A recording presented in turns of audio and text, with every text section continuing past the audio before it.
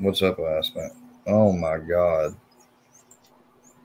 Yes. Hey, what's up, Square? What's up, Ice? Yes, sir. What can I do for you, even though I don't think I can do anything for you?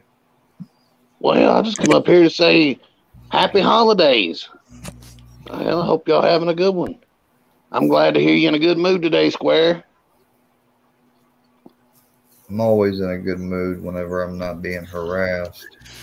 Well, there ain't nobody harassing you. You gotta, you gotta give and take on these Yuba Tuba streets. Iceman, I tell you about it. Hell, you gotta, you gotta either ignore it or just play along with it. Hell, these Yuba Tuba streets. No, well, when they Yeah. take it when they take it outside the Yuba Tuba streets to the real. well, that's streets, true. That's true. But hell, you just had the guy who was knocking on your door sitting on your panel as your best friend. So hell, I don't know.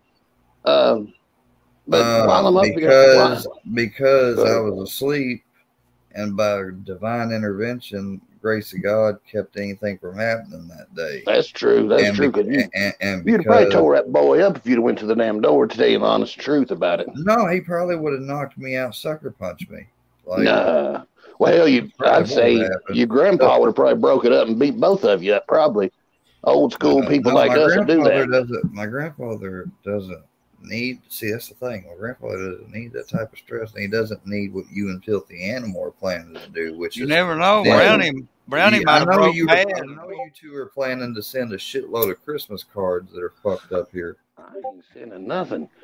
If I, I, the only thing I have to do to help Filthy is he keeps asking me to find out about uh, Saul's big foot. You know, in that picture, he's